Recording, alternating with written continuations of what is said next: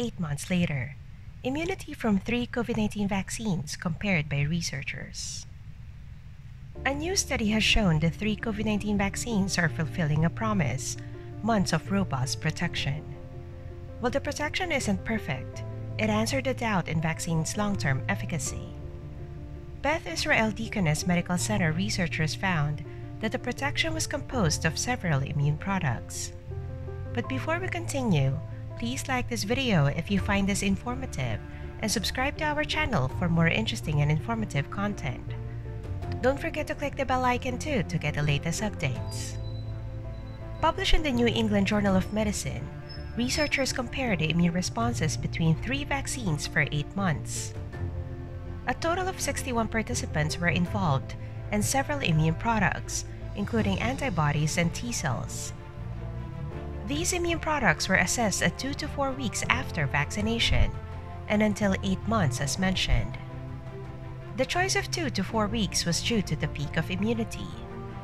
The vaccines were from Pfizer, Moderna, and Johnson & Johnson.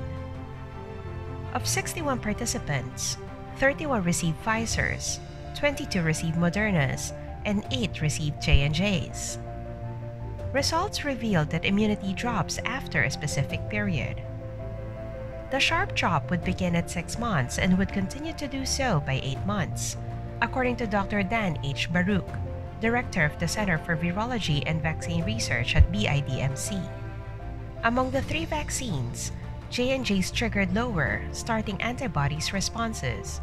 However, the responses were stable over time with minimal to no evidence of decline. Similar to some recent studies, Moderna's vaccine could induce higher antibody responses than Pfizer's. Although select differences were seen, all three vaccines reacted normally to different variants of the COVID 19 virus. Researchers emphasized that antibody responses aren't everything. That decline may be detectable, yet T cell responses and non neutralizing antibody functions worked as expected at 8 months.